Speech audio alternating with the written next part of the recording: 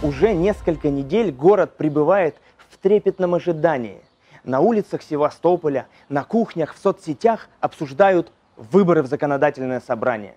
Нужно отдать должное социальной активности севастопольцев. Усталой материковой аполитичностью здесь даже не пахнет. В прошлой передаче «Площадь Нахимова» мы дали прямую речь кандидата самовыдвиженца, московского блогера Руслана Асташко. Следуя журналистской этике, из контекста мы ничего не вырывали, дали цитаты как есть, но, к сожалению, это, то есть собственные ответы Асташко не понравились.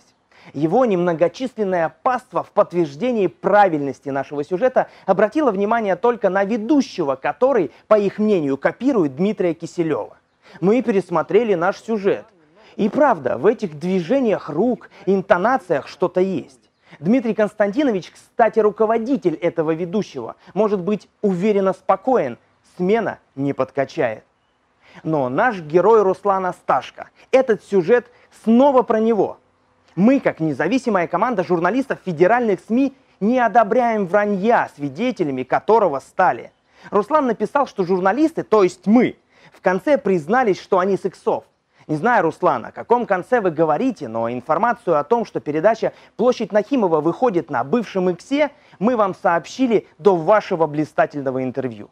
Нехорошо обманывать своего читателя, он ведь вам может и поверить. Руслан оказался человеком, который не очень большое значение придает словам. Например, в медиацентре за полмиллиона в месяц Руслан говорит. Я севастополец, я не могу без слез смотреть на то, что здесь происходит. Почему здесь, в Севастополе, в нашем родном городе, в нашем родном городе... То есть, вводя севастопольцев в заблуждение, пытаясь сказать «мы с вами одной крови», забывает добавить, что родился в другом городе, далеко от Севастополя, а именно в городе Донецке. Казалось бы, за столько лет блогерства Руслан должен знать цену словам, но вместо этого зачем-то выдает себя за того, кем на самом деле не является. Кроме того, что Руслан в своих интервью вводит в заблуждение зрителей, он еще и в медиацентре заставляет людей поверить в несуществующие вещи. Вот, например, посетители медиацентра на проспекте Нахимова, который Руслан и его команда преподносят как единомышленников из народа. Александр, я пришел проголосовать за отставку губернатора. Э, дело в том, что я слышал недавно, что осталось две подписи подписать. Вот поэтому мы пришли с женой поддержать тех людей, которые против нашего дорогого губернатора. Как только мы подпишем, сделаем эти две подписи, нам обещают, что он уедет домой. До свидания. До свидания. Руслан, это что? Какие две подписи? Вам не стыдно это показывать? Вы фанты играете, макулатуру собираете, осталось 2 килограмма бумаги, и мы выиграем билеты в кинотеатр «Россия». Что вы такое рассказываете бедным людям, которые вам верят? Зачем вы пользуетесь их доверчивостью? Какова законная процедура объявления губернатору импичмента, для которого не хватало двух подписей, и вы наконец-то их получили? Кстати, про импичмент. Поначалу Руслан заявлял, что хочет сделать губернатору импичмент. Но когда в сети появилась вот эта фотожаба, перестал употреблять это иностранное слово. Не скрою, что моей первой инициативой в роли депутата законодательного собрания будет законопроект об импичменте губернатору города Дмитрию Овсяне. Вашим устремлением это импичмент губернатора. Вы идете, это главный Отставка флаг. губернатора, да. Отставка губернатора, да. Кстати, Руслан очень серьезно относится к тому, что про него говорят. А Меня объявили уже геем, и ло- который лоббирует э, педофилов и так далее и тому подобное. Руслан, мне лично абсолютно все равно ваша ориентация. Меня удивляет другое. Весь ваш пиар строится на объявлении войны законно избранному руководству города. Ключевое слово здесь «законно». А потом вы показываете вот таких единомышленников. Э, Ожидания, честно сказать, не оправдались наши. Э, Жизнь с каждым месяцем все ухудшается и ухудшается. Ну, Поэтому пришел сюда для того, чтобы подписаться за отставку губернатора А потом вот таких В городе нужно производить реформу, а в частности убрать губернатора. Напомню, Ленур Усманов когда-то сказал следующее. Это не документ, это аусвайс. Именно так поступали фашисты, когда выдавали на оккупированных территориях. Недавно я к своему студу узнал, что мы все являемся гражданами Советского Союза, а гражданами Российской Федерации по законодательству мы не, не являемся. Никто из нас никогда не писал заявление о выходе из состава Советского Союза. Еще одну цитату Ленура Усманова приводит СМИ пятой колонны. Бандитский капитал сегодня является символом государственности Российской Федерации, куда мы так рвались и куда мы прибыли, но столкнулись с той мерзостью, которую сегодня олицетворяет у нас в Севастополе губернатор Овсянников, ставленник Владимира Путина. Ну и еще одна цитата. Появилась возможность оспорить все решения судов и судей на основе несоответствия законам и ГОСТам и даже самой Конституции. А это значит, что всех, кого посадили по так называемым судам, можно вытащить из тюрьмы. Этот человек еще не платит за услуги ЖКХ. Что они не имеют права с меня требовать, отключать. Я не плачу за электроэнергию. То есть я сделал этот прецедент в городе Севастополе. Э, эти люди не граждане Российской Федерации, а верующие. А по факту они ведомые свидетели секты РФ. Вот, например, один из комментариев к этому видео. Пока мы не соберемся вместе и не свергнем диктаторов продажных. Нелюбовь Ленура Усманова к исполнительной власти Севастополя объясняется, скорее всего, вот этим. Суд вернул Севастополю земли семьи Усмановых в урочище Аязьма. А комментарии к этой статье красноречиво дополняет картину.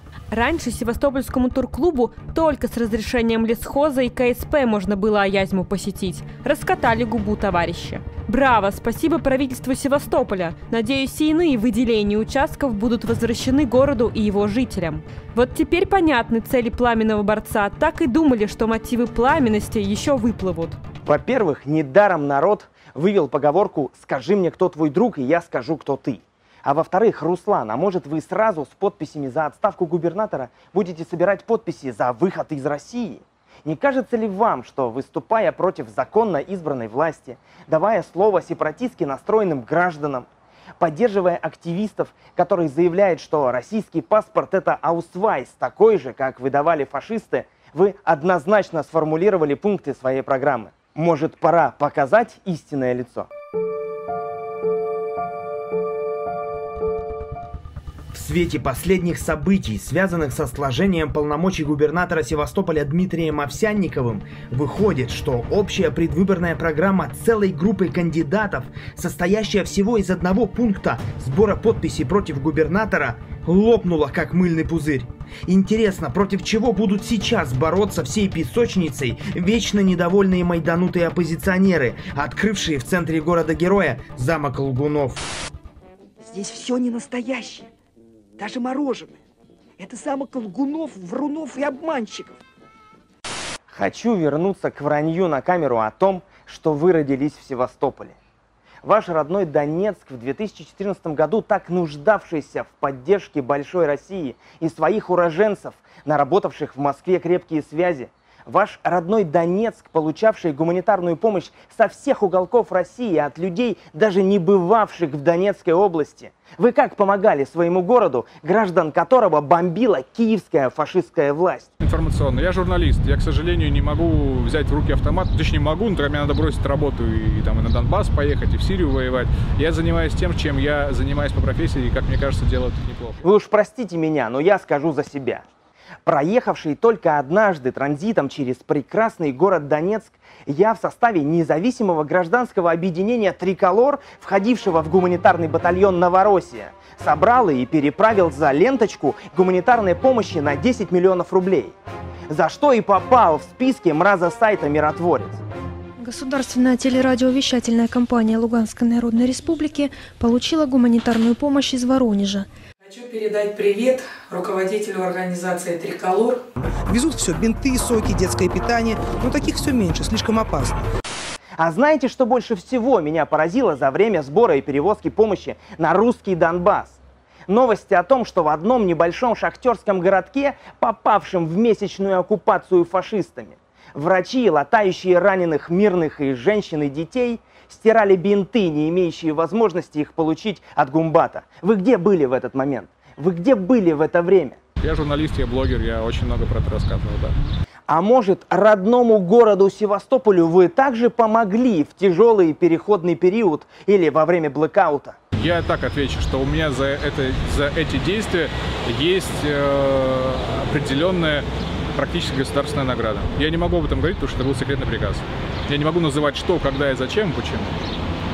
Это закрытые распоряжения, которые подписаны лично Владимиром Путиным. Вы что-то такое делали, о чем говорить нельзя. Но за это вам дали награду. Хитро, очень похоже на вот это. Я вкладываю это то, что каждый может в этом услышать сам. Пусть люди сами решают для себя, что это значит. Во время вашей катастрофически неудачной попытки участия в праймере с Единой России по выборам в Госдуму в 2016 году вы сказали такие слова. С учетом того, что с самого начала я открыто заявил, что готов представлять только ваши интересы, что у меня нет и не может быть никаких спонсоров кроме вас, считаю, что пришло время подвести первые итоги и отчитаться перед вами о проделанной работе. Те выборы вы совершили ошибку, объявили сбор средств на вашу агитационную кампанию, и социология не заставила себя долго ждать.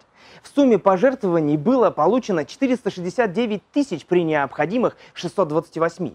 С учетом того, что вам донатили не только севастопольцы, уже тогда было понятно, что город о вас банально ничего не знает. Потом вы исчезли с радаров, но как только объявили местные выборы, вы тут же проявились вновь.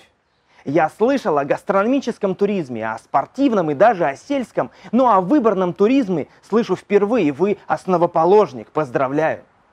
Не могу не обратить внимание зрителей на внешний вид Руслана во время серьезных политических заявлений. Пляжные шорты, чтобы загорели ноги. Да и вообще весь вид – московский турист на отдыхе. Почему вы так не уважаете севастопольцев, что приезжаете из столицы на выборы, как на пляж? Вот еще про уважение. Медиацентр, расположенный в бывшем помещении банка и на главной улице города, проспекте Нахимова.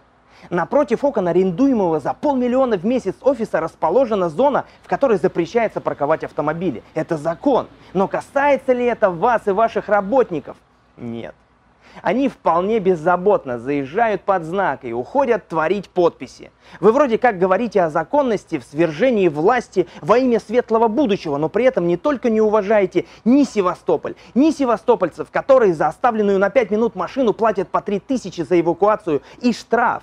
Вы просто игнорируете закон. Это же абсурд. Вы словно боретесь с воровством методом сколачивания шайки для ограблений. Почему же вы держите севастопольцев за дураков? А закрыть в 11 часов медиацентр не получилось только из-за того, что вас снимала совершенно открытая наша камера. И напоследок, о том самом переобувании за деньги. В конце 16 года, чтобы, видимо, всем понравиться, вы написали очень мудрые слова – Опыт помог мне вывести очень простой критерий, по которому можно отличить пропагандистский обман от реальной политической программы на будущее. Вот он.